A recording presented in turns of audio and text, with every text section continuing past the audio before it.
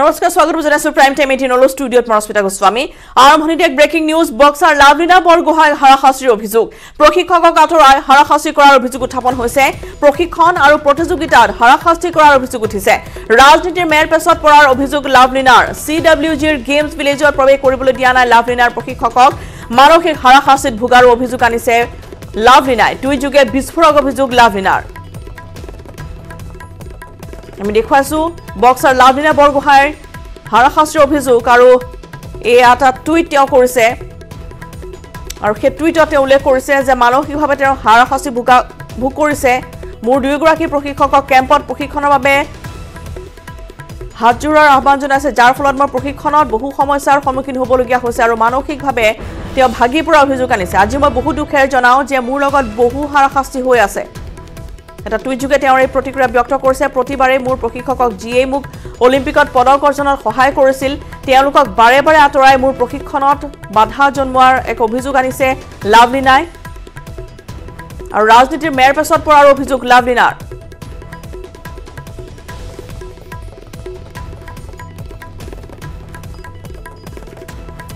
আৰু ফোন লাইনত আছে আমাৰ জ্যেষ্ঠ সাংবাদিক প্ৰাঞ্জল প্ৰতিম হাজৰিকা। প্ৰাঞ্জলে গুৰুতৰ অভিযোগ আনিছে লাভলীনাই আৰু টুইযোগে তেওঁৰ মনৰ ক্ষোভ এনেদৰে ব্যক্ত কৰিছে আৰু যাৰ ফলত তেওঁৰ আগন্তুক যি খেল থাকিব তাত তেওঁ এনেধৰণে হাৰাশাস্তি যদি ভোগে তেতিয়াহ'লে হয়তো তেনেধৰণে সফলতা তেওঁ অৰ্জনত বাধা আহি পৰিব প্ৰাঞ্জল নিশ্চয় ৰশ্মিতা গোস্বামী অত্যন্ত ডাঙৰ অভিযোগ এয়া। আৰু লভলীনা বৰগোহাঁয়ে যি সময়ত ভাৰতৰ বাবে অসমৰ বাবে গৌৰৱ কঢ়িয়াই আনিছিল টকিঅ' অলিম্পিকত ব্ৰঞ্জৰ মেডেল অৰ্জন কৰি বক্সিঙত সেইগৰাকী লাভলীনা বৰগোহাঁই এনেধৰণৰ অভিযোগ আনিব লগাটো লগা হোৱাটোৱেই সবাতোকে দুৰ্ভাগ্যজনক বিষয় বুলি ইতিমধ্যে সকলোৰে মুখে মুখে চৰ্চা হৈছে। তেওঁ যিটো টুইট তাত দিছে সেই টুইটটোত উল্লেখ কৰা কথাখিনি মই এবাৰ অসমীয়াত পোনপটীয়াকৈ ক'ব বিচাৰিছো। আজি মই বহুত দুখেৰে কওঁ যে মোৰ লগত বহুত হাৰাশাস্তি হৈ আছে। প্ৰতিবাৰে মোৰ প্ৰশিক্ষকক যিয়ে মোক অলিম্পিকত পদক অৰ্জনত সহায় কৰিছিল তেওঁলোকক বাৰে বাৰে আঁতৰাই মোৰ প্ৰশিক্ষণ প্ৰক্ৰিয়া আৰু প্ৰতিযোগিতাত সদায় হাৰাশাস্তি কৰি আহিছে। ইয়াৰে এজন প্ৰশিক্ষক হৈছে দ্ৰোণাচাৰ্য বঁটাৰে সন্মানিত সন্ধ্যা গুৰুংজী মোৰ দুয়োগৰাকী প্ৰশিক্ষকক কেম্পত প্ৰশিক্ষণৰ বাবে হাজাৰবাৰ হাতযোৰ কৰাৰ পাছত বহু পলমকৈ অন্তৰ্ভুক্ত কৰা হয় যাৰ ফলত মই প্ৰশিক্ষণত বহুত সমস্যাৰ সন্মুখীন হ'বলগীয়া হৈছে আৰু মানসিক হাৰাশাস্তিটো হয়েই। এতিয়া মোৰ প্ৰশিক্ষক চেণ্টা গুৰুংজী কমনৱেলথ গেমছৰ ভিলেজৰ বাহিৰত আছে। অৰ্থাৎ কমনৱেলথ ভিলেজৰ বাহিৰত তেওঁক থৈ দিয়া হৈছে বা তেওঁ ভিতৰলৈ প্ৰৱেশ কৰিব পৰা নাই সেইখিনি কথা তেওঁ কৈছে। তেওঁক প্ৰৱেশৰ অনুমতি দিয়া নাই আৰু মোৰ প্ৰশিক্ষণ প্ৰক্ৰিয়া গেমছৰ ঠিক আঠদিন আগতে স্থবিৰ হৈ পৰিছে। মোৰ দ্বিতীয় প্ৰশিক্ষকগৰাকীকো ভাৰতলৈ উভতাই পঠাইছে। মই ইমান অনুৰোধ কৰাৰ পিছতো এয়া হৈছে ইয়াৰ ফলত মই মানসিক হাৰাশাস্তিত ভুগিছো। মই একো বিবেচনা কৰিব পৰা নাই যে মই কেনেদৰে এতিয়া প্ৰতিযোগিতাত মনোনিৱেশ কৰিম। ইয়াৰ বাবে মোৰ বিগত বিশ্ব চেম্পিয়নশ্বিপো বেয়া হৈছে। আৰু এই ৰাজনীতিৰ ফলত মই মোৰ কমনৱেলথ গেমছ নষ্ট কৰিব নিবিচাৰো। আশা কৰো মই মোৰ দেশৰ বাবে ৰাজনীতিৰ শিকলি ছিঙি পদক অৰ্জন কৰিব পাৰিম। জয় হিন্দ। মুঠতে ৰশ্মিতা গোস্বামী পোনপটীয়াকৈ লভলীনা বৰগোহাঁই কৈছে যে তেওঁৰ বিৰুদ্ধে ৰাজনীতি হৈছে। এই ৰাজনীতিৰ শিকলি তেওঁ ছিঙিব পাৰিম বুলিও কৈছে। কিন্তু যিটো কথা অত্যন্ত দুৰ্ভাগ্যজনক হিচাপে বিবেচিত হৈছে তেওঁ কোনো লোকৰ নাম উল্লেখ কৰা নাই কিন্তু একাংশ লোকে যে তেওঁৰ বিৰুদ্ধে ষড়যন্ত্ৰ ৰচনা কৰিছে ৰাজনীতি কৰিছে সেয়া জল জল পদ পদ হিচাপে ধৰা পৰিছে এই টুইটটোৰ পাছতেই। কাৰণ তেওঁ কৈছে যে যিজন তেওঁৰ মূল প্ৰশিক্ষক সন্ধ্যা গুৰুজী যিজন দ্ৰোণাচাৰ্য এৱাৰ্ডী হয় তেওঁক গেমছ ভিলেজ কমনৱেলথ গেমছ ভিলেজৰ ভিতৰত প্ৰৱেশ কৰিবলৈ দিয়া হোৱা নাই। আমি দৰ্শকসকলক জ্ঞাতাৰ্থে কওঁ যে বৰ্তমান বাৰ্মিংহামত চলি আছে কমনৱেলথ গেমছ য'ত ভাৰতৰ আন আন খেলুৱৈৰ দৰে লাভলীনা বৰগোহাঁইও গৈ উপস্থিত হৈছেগৈ। নিজৰ প্ৰতিভা প্ৰদৰ্শনৰ বাবে নিজৰ খেল প্ৰদৰ্শনৰ বাবে আৰু সেই খেলৰ জৰিয়তে ভাৰতলৈ গৌৰৱ অৰ্জন কৰি অনাৰ বাবে আকৌ এবাৰ। কিন্তু সেই সময়তে লাভলীনা বৰগোহাঁই গুৰুতৰ অভিযোগ উত্থাপন কৰিছে খেলৰ ঠিক আঠ দিন আগত তেওঁৰ বিৰুদ্ধে গভীৰ ষড়যন্ত্ৰ বা গভীৰ ৰাজনীতি চলাৰ অভিযোগ কাৰণ তেওঁৰ প্ৰশিক্ষকক তেওঁ কাষত পোৱা নাই। প্ৰশিক্ষকৰ পৰা প্ৰশিক্ষণ ল'ব পৰা নাই। যি সময়ত তেওঁ কেৱল খেলত মনোনিৱেশ কৰিব পাৰিব লাগিছিল যি সময়ত তেওঁ প্ৰতিদিনে অনুশীলন কৰিব পাৰিব লাগিছিল সেই সময়ত লাভলীনা বৰগোহাঁই এই সকলোবোৰৰ পৰা বঞ্চিত হৈছে। একমাত্ৰ তেওঁৰ প্ৰশিক্ষকক নিজৰ কাষৰ পৰা আঁতৰাই ৰখাৰ বাবে। এক ডাঙৰ অভিযোগ হিচাপে বিবেচিত হৈছে ৰশ্মিতা। নিশ্চয় আৰু পাৰঞ্চল এয়া এয়া প্ৰথম নহয় পূৰ্বতে তেওঁ জনাইছে যে বাৰে বাৰে তেওঁ হাতযোৰ কৰিব লাগে যে তেওঁ প্ৰশিক্ষকক তেওঁৰ কাষত বিচাৰে বা যদি এনেধৰণে চলি থাকে লাভলীনাৰ সৈতে তেতিয়াহ'লে হয়তো কমনৱেলথ গেমছত তেওঁ যেনেধৰণে আচলতে মনোনিৱেশ কৰিব লাগিছিল এতিয়া তেওঁ হতাশাত ভুগি পৰিছে যদি মানসিক হাৰাশাস্তি তেওঁৰ হৈ থাকে তেতিয়াহ'লে হয়তো আগন্তুক গেমত তেওঁ কেনেদৰে মনোনিৱেশ কৰিব সেয়া ডাঙৰ প্ৰশ্ন হৈছে এতিয়া প্ৰাঞ্জল নিশ্চয় নিশ্চয় ৰশ্মিতা কাৰণ তেওঁ স্পষ্টভাৱে সেই টুইটটোত কৈছে যে মোৰ বিগত বিশ্ব চেম্পিয়নশ্বিপো বেয়া হৈছে। বিগত চেম্পিয়নশ্বিপৰ কথা আমি জানো বিশ্ব চেম্পিয়নশ্বিপৰ বক্সিঙৰ সেই বিশ্ব চেম্পিয়নশ্বিপত আশানুৰূপ ফলাফল লাভলীনা বৰগোহাঁই দাঙি ধৰিব পৰা নাছিল। আৰু এই টুইটটোত তেওঁ পোনপটীয়াকৈ কৈছে যে এনেবোৰ কাৰণতেই মোৰ বিশ্ব চেম্পিয়নশ্বিপো বেয়া হৈ গৈছে। মানে ইয়াৰ পূৰ্বেও এওঁৰ বিৰুদ্ধে লাভলীনা বৰগোহাঁইৰ বিৰুদ্ধে এনেধৰণৰ ষড়যন্ত্ৰ হয়তো হৈছে। ষড়যন্ত্ৰৰ আঁৰত কোন জড়িত সেয়া তেওঁলোকে স্পষ্ট হোৱা নাই। কাৰণ লাভলীনা বৰগোহাঁই পোনপটীয়াকৈ নামসমূহ উল্লেখ কৰা নাই। কিন্তু যিটো কথা এগৰাকী খেলুৱৈ তাকো অলিম্পিকত মেডেল অৰ্জন কৰি অনা খেলুৱৈ গৌৰৱ কঢ়িয়াই অনা এগৰাকী খেলুৱৈৰ অভিযোগ এনেধৰণে উত্থাপন কৰিব লগা হোৱাটোৱে সবাতোকৈ দুৰ্ভাগ্যজনক আৰু চিন্তনীয় হিচাপে বিবেচিত হৈছে সমগ্ৰ ভাৰতৰ ক্ৰীড়া ক্ষেত্ৰৰ বাবে। নিশ্চয়কৈ প্ৰাঞ্জল ধন্যবাদ জনাইছো আপোনালৈ নিশ্চয়কৈ এক দুৰ্ভাগ্যজনক খবৰ যে যি সময়ত কমনৱেলথ গেমছলৈ ৰাভিনা বৰগোহাঁই খেললৈ মাত্ৰ আঠ দিন আছে সেই সময়ছোৱাতেই তেওঁ প্ৰশিক্ষকক আঁতৰাই পঠোৱাই পঠোৱা হৈছে হাৰাশাস্তিৰ অভিযোগ আহিছে মানসিকভাৱে তেওঁক এনেদৰে হাৰাশাস্তি দিয়া হৈছে ৰাজনীতিৰ মেৰ পাছত পৰিছে বৰ্তমান ৰাভিনা বৰগোহাঁই তেওঁ এটা টুইট যোগে তেওঁৰ মনৰ ক্ষোভ তেওঁৰ যিখিনি অভিযোগ আছে সেয়া ব্যক্ত কৰিছে। চি ডব্লিউ জিৰ গেমছ ভিলেজত এতিয়ালৈকে তেওঁ লাভলীনাৰ প্ৰশিক্ষকক সোমাবলৈ দিয়া হোৱা নাই। মানসিক মানসিকভাৱে হাৰাশাস্তি তেওঁ ভোগ কৰাৰ এই অভিযোগ আনিছে। টুইট যোগে এইসমূহ বিস্ফোৰক অভিযোগ আনিছে লাভলীনাই। যি সময়ত কনৱেলথ গেমছৰ বাবে তেওঁ ইতিমধ্যে বাৰ্মিংহামত উপস্থিত হৈছেগৈ সেই সময়ছোৱাতে কিন্তু তেওঁৰ দুয়োগৰাকী প্ৰশিক্ষককে তেওঁ কাষত পোৱা নাই যাৰ ফলত তেওঁ যথেষ্ট এতিয়া মানসিকভাৱে ভাগি পৰিছে। আৰু এই টুইট যোগে তেওঁ সকলোখিনি তেওঁৰ যি প্ৰতিক্ৰিয়া সেয়া ব্যক্ত কৰিছে। আৰু ইয়াৰ পিছত কেনেদৰে আচলতে তেওঁ খেলত মনোনিৱেশ কৰে সেয়া নিশ্চয়কৈ লক্ষণীয় হ'ব। কিন্তু এই মুহূৰ্তত আমি জনাইছোঁ যে ষড়যন্ত্ৰ হৈছে অসমৰ এইগৰাকী যুৱতীৰ বিৰুদ্ধে আৰু ইতিমধ্যে লাভলীনাই অলিম্পিকৰ পদকৰ জৰিয়তে সমগ্ৰ দেশবাসীলৈ গৌৰৱ কঢ়িয়াই আনিছে আৰু সেই লাভলীনাৰ সৈতে এই অভিযোগ আহিছে। তেওঁ অভিযোগ আনিছে যে প্ৰশিক্ষকক তেওঁ কাষত পোৱা নাই। পূৰ্বতেও বহুবাৰ তেওঁ প্ৰশিক্ষকক বিচাৰি তেওঁ যাক বিচাৰে তাক সেয়া প্ৰশিক্ষকক বিচাৰি তেওঁ বাৰ বাৰ হাত জোৰ কৰিবলগীয়া হয় আৰু এইবাৰো তেওঁ মানসিকভাৱে ভাগি পৰাৰ কথা তেওঁ উল্লেখ কৰিছে নিজৰ টুইটৰ জৰিয়তে।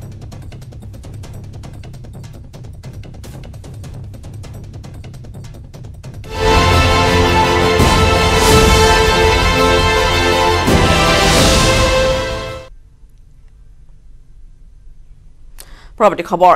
ইতিহাস ৰচি আজি দেশৰ পঞ্চদশ ৰাষ্ট্ৰপতিৰ ৰূপে শপত ল'লে দ্ৰৌপদী মুৰ্মুৱে। সংসদ ভৱনৰ কেন্দ্ৰীয় হলত অনুষ্ঠিত হয় শপত গ্ৰহণ কাৰ্যসূচী। দেশৰ ৰাষ্ট্ৰপতিৰ আসনত অধিষ্ঠিত হ'ল প্ৰথমগৰাকী আদিবাসী মহিলা।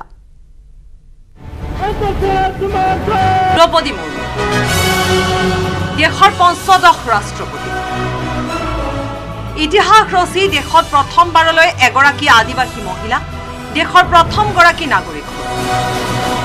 সংসদ ভৱনৰ কেন্দ্ৰীয় হলত দেশৰ মুখ্য ন্যায়াধীশ এন ভি ৰমনাই দ্ৰৌপদী মুৰ্মুক শপত বাক্য পাঠ কৰোৱালে। ৰাষ্ট্ৰপতিৰ শপত গ্ৰহণ সমাৰোহত বিদায়ী ৰাষ্ট্ৰপতি ৰামনাথ কোবিন্দ উপ ৰাষ্ট্ৰপতি আৰু ৰাজ্যসভাৰ অধ্যক্ষ এম ভেংকায়া নাইডু প্ৰধানমন্ত্ৰী নৰেন্দ্ৰ মোদী লোকসভাৰ অধ্যক্ষ ওম বিৰলা কেন্দ্ৰীয় মন্ত্ৰী পৰিষদৰ সদস্য ৰাজ্যপাল মুখ্যমন্ত্ৰী সংসদৰ সদস্য আৰু চৰকাৰৰ মুখ্য বিষয়া আৰু সেনা বিষয়াসকলে অংশগ্ৰহণ কৰে। শপত গ্ৰহণ অনুষ্ঠানৰ পিছতে নৱনিৰ্বাচিত ৰাষ্ট্ৰপতিগৰাকীক একৈশ চুকৰ অভিবাদন জনোৱা হ'ল। প্ৰথম ভাষণতে ৰাষ্ট্ৰপতি শ্ৰী দ্ৰৌপদী মুৰ্মুৱে দেশবাসীক ধন্যবাদ জনালে দেশৰ দ্বিতীয়গৰাকী মহিলা ৰাষ্ট্ৰপতি দ্ৰৌপদী মুৰ্মুৱে ক'লে মহিলা সবলীকৰণেই এতিয়া তেওঁৰ মূল লক্ষ্য হ'ব मैंने अपनी जीवन यात्रा पूर्वी भारत में ओडिशा के एक छोटे से आदिवासी गांव से शुरू की थी मैं जिस पृष्ठभूमि से आती हूँ वहाँ मेरे लिए प्रारंभिक शिक्षा प्राप्त करना भी एक स्वप्न जैसा ही था लेकिन अनेक बाधाओं के बावजूद मेरा संकल्प दृढ़ रहा और मैं कॉलेज जाने वाली अपने गाँव की पहली बेटी थी। इस पद के साथ साथ देश ने इस महान परंपरा के प्रतिनिधित्व का दायित्व भी मुझे सौंपा है। संविधान के आलोक में मैं पूरी निष्ठा से अपने कर्तव्यों का निर्वहन करूँगी। मेरे लिए भारत के लोकतांत्रिक सांस्कृतिक आदर्श और सभी देशवासी हमेशा मेरे ऊर्जा की news desk report news eighteen और हम नॉट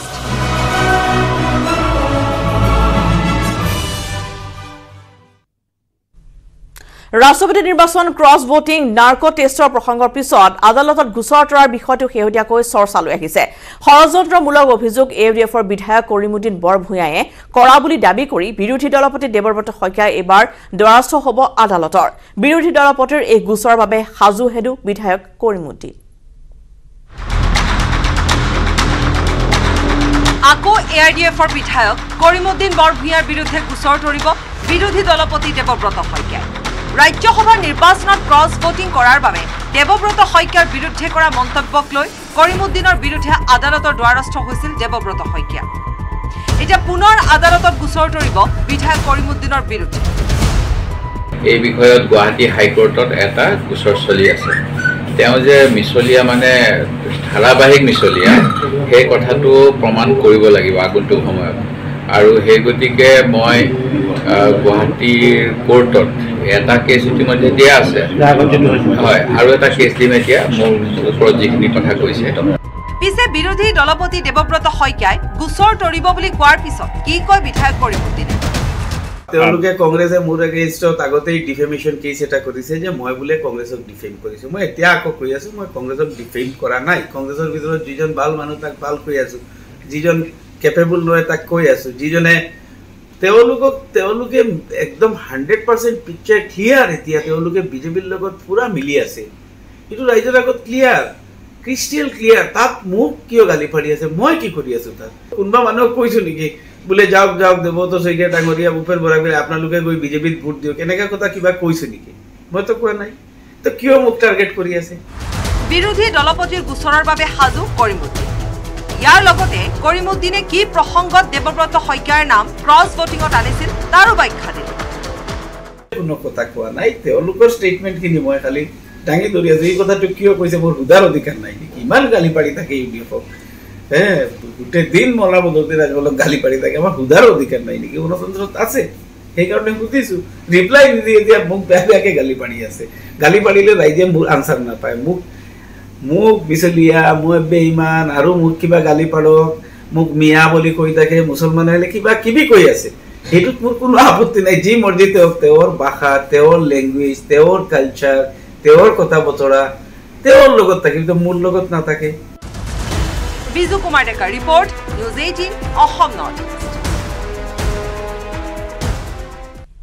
east এইবাৰ মূল্যবৃদ্ধিৰ মাধমাৰ শুধাবলৈ সাজু হৈছে গোপালকসকল। এক আগষ্টৰ পৰা বৃদ্ধি পাব গাখীৰৰ দাম। পূৰ্বৰ পঞ্চাছ টকাৰ পৰিৱৰ্তে এতিয়া প্ৰতি লিটাৰ গাখীৰ হ'ব চৌৱন্ন টকা। সমান্তৰালকৈ বৃদ্ধি হ'ব দুগ্ধজাত সামগ্ৰীৰ দাম। মহানগৰীত বৃদ্ধি পাব গাখীৰৰ দাম। সমান্তৰালকৈ বৃদ্ধি পাব দুগ্ধজাত সামগ্ৰীৰ দাম। অহা এক আগষ্টৰ পৰা প্ৰতি লিটাৰ গাখীৰৰ মূল্য চাৰি টকাকৈ বৃদ্ধিৰ সিদ্ধান্ত বৃহত্তৰ গুৱাহাটী গোপালক সংস্থাৰ। মূল্যবৃদ্ধিটো এতিয়া গাখীৰৰ মূল্যবৃদ্ধিটো আমি বছৰ বছৰে কেতিয়াবা কৰোঁ যোৱা বছৰ বৃদ্ধি হৈছে পাৰ লিটাৰ দুটকা এইবছৰ আমি চাৰি টকা মূল্যবৃদ্ধি কৰিব বিচাৰিছোঁ বিশেষকৈ গো খাদ্যৰ ওপৰত যিটো ৰেট বৃদ্ধি হৈছে। আৰু কাম কৰা মজুৰি গো খাদ্যৰ খেৰ ঘাঁহ এইবিলাকৰ যিটো দাম মূল্য বৃদ্ধি হৈ গৈছে। গাখীৰৰ খুঁটিত পূৰ্বতে প্ৰতি লিটাৰ গাখীৰৰ দাম আছিল পঞ্চাছ টকা। অহা এক আগষ্টৰ পৰা খুঁটিৰ গাখীৰৰ দাম চাৰি টকা বৃদ্ধি কৰি চৌৱন্ন টকা কৰাৰ সিদ্ধান্ত গ্ৰহণ কৰিছে গোপালক সংস্থাই। দাম বৃদ্ধিৰ কাৰণ ব্যাখ্যা কৰি গোপালক সংস্থাই ক'লে গৰুৰ খাদ্যৰ সংকট এতিয়া জটিল সমস্যা হৈ পৰিছে সেয়ে এই সিদ্ধান্ত। বিশেষকৈ গো খাদ্যৰ ওপৰত। আৰু গৰু পোহাটো ইমান কষ্টকৰ ব্যৱসায় হৈ গৈছে এতিয়া। বস্তুবিলাক পাবলৈ নাই। শ্বৰ্টেজ হৈ গৈছে। ৰেট বাঢ়ি গৈ আছে। আমি গৰুকেইটা বচাবৰ কাৰণে উপায়বিহীন হৈ গাখীৰৰ মূল্য বৃদ্ধি কিমান টকা বৃদ্ধি কৰিছে আপুনি? আমিতো পঞ্চাছ টকাত বিক্ৰী- কৰিছিলোঁ। এতিয়া চৌৱন্ন টকাত বিক্ৰী কৰিছোঁ ইফালে গাখীৰৰ দাম বৃদ্ধিত ক্ষুণ্ণ হৈ পৰিছে সৰ্বসাধাৰণ। বিগত বৰ্ষতো মহানগৰীত প্ৰতি লিটাৰ গাখীৰৰ মূল্য দুটকাকৈ বৃদ্ধি কৰা হৈছিল। পুনৰ গাখীৰৰ দাম বৃদ্ধি কৰাত ভীষণ অসন্তুষ্ট হৈ পৰিছে মহানগৰবাসী। যোৰাবাটৰ পৰা মৌচম বৈশ্যৰ report news eighteen Assam north east. পশুপালন আৰু দুগ্ধ উৎপাদনৰ লগত জড়িত এটা পৰিয়াল। পৰিয়ালটোৰ প্ৰথম ষান্মাসিকত অধ্যয়নৰত যুৱতীগৰাকী এতিয়া বহুতৰ বাবে হৈ পৰিছে আদৰ্শ। বুলেট চলাই এঠাইৰ পৰা আন ঠাইলৈ উৎপাদিত গাখীৰ লৈ বিতৰণ কৰি ফুৰে যুৱতীগৰাকীয়ে। নাই কোনো শংকা নাই দ্বিধা। দেউতাকে গৰু প্ৰতিপালন কৰে। মাকে গাখীৰ খীৰায় কন্যাই বুলেটেৰে বিতৰণ কৰে গাখীৰ। পুৱাই ষ্টাৰ্ট হয় ডেইজি দৈমাৰী বুলেট। বুলেটৰ গমগমীয়া শব্দৰে বনিয়া ভিটা গাঁও মুখৰ কৰি বকুলৈ গাখীৰ কঢ়িয়াই ডেইজি দৈমাৰীয়ে নিৰ্দিষ্ট গ্ৰাহকক দিয়াৰ পাছত থাকি যোৱা গাখীৰ পনীৰ আৰু দৈ দোকানত থৈ ঘৰলৈ উভতে ডেইজি। বকুত ডেইজি নামেৰে আছে ডেইজি মিল্ক বুথ গ্ৰাহকৰ লগতে দোকানত ডেইজিৰ পৰিয়ালে দৈনিক বিক্ৰী কৰে আশীৰ পৰা এশ লিটাৰ গাখীৰ। গাখীৰটো আমাৰ বকো যায় বা হাহিম যায় দুই জেগাতে যায়। আৰু গাখীৰ এইট্টিৰ পৰা হাণ্ড্ৰেড প্লাছ ডেৰশলৈকে যায়। দুবছৰ তিনি বছৰ হ'ল এনেকৈ সহায় কৰা মানে লাগি আছোঁ মা দেউতাৰ লগত। বুলেটখনে লৈ যাওঁ কেতিয়াবা স্কুটিখন লৈ যাওঁ এনেকৈ। দোকানৰ পৰা ঘৰ পায়েই কলেজলৈ ওলাই ডেইজি বকুৰ জে এন কলেজৰ স্নাতক প্ৰথম সাময়িকৰ ছাত্ৰীগৰাকীয়ে দুবছৰ ধৰি এনেদৰে চলাই আহিছে অধ্যয়ন আৰু ব্যৱসায়। সাতটা আঠটা বজাত ওলাই যাওঁ। ৰাতিপুৱা। মিলে ৰাতিপুৱা গাখীৰখিনি গোটেই মেনেজ কৰি আহি কেনিবা কলেজ যাওঁ। এনেকৈ মা দেউতাইও যায় কেতিয়াবা বেছি অসুবিধা হ'লে মই যাওঁ এনেকৈ। First degree first time J N college Poco দুহেজাৰ চৈধ্যৰ ষোল্ল অক্টোবৰৰ ডেইজিৰ পিতৃ মাতৃৰ দুজনী গৰুৰে আৰম্ভ কৰিছিল ব্যৱসায়। এতিয়া দৈমাৰী পৰিয়ালৰ আছে বিশজনী গৰু। কেতিয়াবা এশ পঞ্চাছ লিটাৰলৈকে গাখীৰ বিক্ৰী কৰিব পাৰে পৰিয়ালটোৱে। আমি দুই হাজাৰ চৈধ্য চনৰ ষোল্ল অক্টোবৰৰ পৰা দুজনী গাইৰ পৰা আমি গাই গৰু গৰু ব্যৱসায় ভিত্তিত প্ৰতিপালন কৰিবলৈ লৈছিলোঁ। তেতিয়াৰে পৰা এতিয়ালৈকে বিছটা গৰু আছে এতিয়া। বিছটাৰে তেৰজনী ক্ষীৰতী গাই আৰু কাৰহলি আৰু দমৰাত তিনিটা আছে ডাঙৰ বুল এটা আছে। এইখিনিৰে আমি ব্যৱসায় চলাই আছোঁ। পৰিয়ালটোৱে কৰ্মসংস্থাপন দিছে চাৰিজন লোকক। তাৰে দুজন স্থায়ী কৰ্মচাৰী। দুয়োজনকে দৈমাৰী পৰিয়ালে প্ৰতিমাহে দিয়ে ন হাজাৰকৈ টকা। স্থায়ী কৰ্মচাৰী দুজন আৰু অস্থায়ী দুজনমান থাকে। মাজে মাজে কেতিয়াবা সিহঁতক লগা হয়। ঘাঁহ চাহ বনাবৰ কাৰণে ঘাঁহ ৰুবৰ কাৰণে। আৰু গোহালিত গাখীৰ খিৰোৱাৰ পৰা আৰম্ভ কৰি সকলো কামখিনি কৰাৰ কাৰণে দুজন স্থায়ীভাৱে থাকে আমাৰ। সিহঁতৰ দৰমহা আমি ন হাজাৰকৈ দিওঁ। চাকৰি নিবিচাৰি ব্যৱসায় আৰম্ভ কৰা মাক দেউতাকৰ দৰেই সাহসী ডেইজি দৈমাৰী। সেই সাহস আৰু কষ্ট কৰিব পৰা গুণী গাঁৱৰ পৰা বুলেটেৰে বকু আৰু হাঁহিমলৈ গৈ গাখীৰৰ ব্যৱসায় কৰিব পাৰিছে ঊনৈছ বছৰীয়া ডেইজি দৈমাৰীয়ে। মানে গাখীৰখিনি ৰাতিপুৱা খীৰোৱাৰ লগে লগে মানুহ ঘৰলৈকে আগবাঢ়ি আহে। গৰুটো মোৰ বিচনী আছে এই যে এতিয়ালৈকে। চাহিয়াল jersey H F news desk report news eighteen Assam north east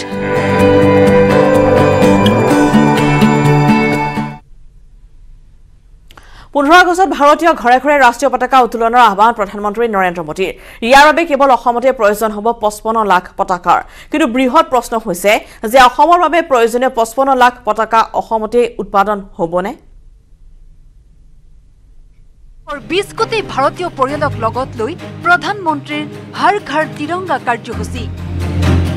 তেৰৰ পৰা পোন্ধৰ আগষ্টলৈ ঘৰ কাৰ্যালয়ত উৰিব ৰাষ্ট্ৰীয় পতাকা। অসমত পঁচপন্ন লাখ পৰিয়াল কাৰ্যালয়ত উৰিব ৰাষ্ট্ৰীয় পতাকা। পঁচপন্ন লাখ পতাকাৰ চাহিদা কোনে পূৰণ কৰিব? থলুৱা নহয়।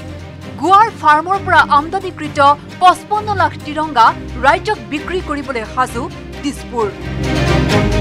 হয় শুনি অকণমান আচৰিত যেন লাগিলেও এয়াই সঁচা। পোন্ধৰ আগষ্টত দেশে পালন কৰিব স্বাধীনতাৰ গৌৰৱোজ্জ্বল পঁসত্তৰ সংখ্যক বৰ্ষপূৰ্তি দেশজুৰি প্ৰধানমন্ত্ৰী মোদীৰ ঘৰে ঘৰে পতাকা উত্তোলনৰ আহ্বানৰ পাছতে স্বাভাৱিকতে এইবাৰ স্বাধীনতা দিৱসৰ পূৰ্বে বিশেষভাৱে তৎপৰতা দেখা পোৱা গৈছিল ৰাজ্যৰ শিপিনীসকলৰ মাজত। নিজ হাতে বনোৱা পতাকা এইবাৰ অধিক বিক্ৰীৰ আশা দেখিছিল ৰাজ্যৰ শ শ আত্মসহায়ক গোটৰ মহিলাই। অসম খাদী গ্ৰামোদ্যোগ বৰ্ডৰ শিপিনীও সাজু পূৰ্বতকৈ অধিক পতাকা প্ৰস্তুতেৰে।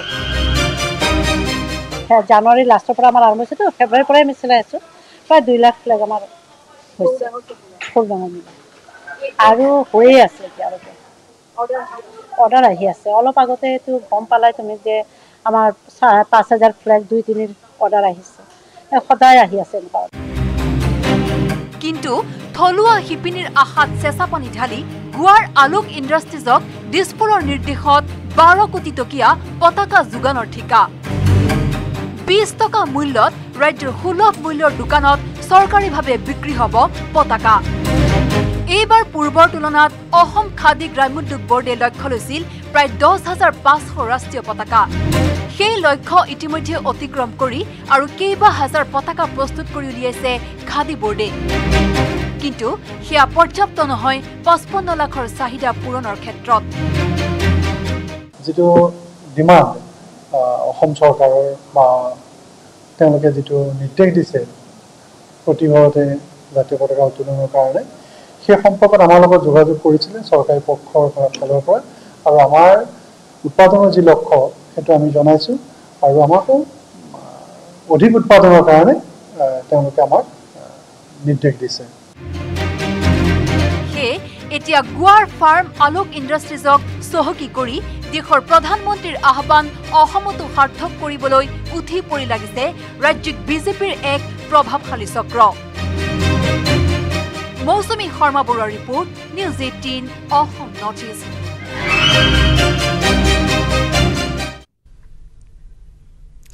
একমাত্ৰ পুত্ৰ বন্দী কাৰাগাৰত চকুলো টুকিছে আইনৰ আও ভাও বুজি নোপোৱা পিতৃ মাতৃয়ে বিতুপন চাংমাই সহায় কৰিবলৈ আগবাঢ়ি আহিছে শিৱসাগৰৰ দল সংগঠন।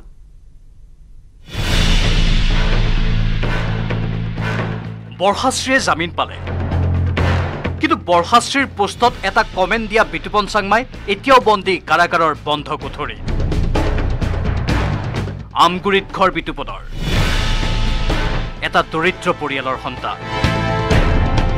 অধিবক্তাৰ সহায়ত বিতুপনৰ আইনী যুঁজ চলাবলৈও হাতত টকা শিকা নাই পিতৃ। আমাৰ ঘৰখনৰ বিশেষকৈ পৰিস্থিতি বেয়াই হৈছে মোৰ ল'ৰা এটাই। তাৰপৰা এতিয়া মই উকিল ধৰিব হেৰি কৰাও নাই উকিল এজনক সুধিছিলোঁ উকিল এজনে মোৰ পইচা পাতি অলপ কথা ক'লে মই এতিয়া বোলো ইমান পইচা পাতি নাই যি হ'ব হ'ব থাকচোন বাৰু বোলো সেইকাৰণে মই কৈ থৈছোঁ। পৰিয়ালটোৰ দুৰ্দশা দেখি বিতুপন চাংমাইক সহায় কৰিবলৈ আগবাঢ়ি আহিছে ৰাইজৰ দল কৃষক মুক্তি সংগ্ৰাম সমিতি আৰু টাই আহোম ছাত্ৰ সন্থা। ৰাজ্যৰ একাংশ মেধাৱী ছাত্ৰ ছাত্ৰীৰ বিৰুদ্ধে চৰকাৰে ষড়যন্ত্ৰ ৰচাৰ অভিযোগ আনিলে বিতুপনক সহায় কৰিবলৈ অহা দল সংগঠনে। যে মেধাৱী ছাত্ৰ ছাত্ৰীবিলাকক ষড়যন্ত্ৰমূলকভাৱে বিজেপি নেতৃত্বাধীন হিমন্ত বিশ্ব শৰ্মা চৰকাৰখনে অভাৱতে মিছা কাৰণত আমগুৰি পুলিচে উঠাই আনি কোনো কথা নাই বতা নাই জেলত ভৰাই দিলে। আজি দুমাহতকৈ অধিক দিন আজি কাৰাগাৰত কাৰাৰুদ্ধ হৈ থাকিবলগীয়া হৈছে। চৰকাৰক দাবী উত্থাপন কৰিছোঁ। অনতি বিলম্বে মুক্তি দিবৰ কাৰণে আমি দাবী উত্থাপন কৰিছোঁ।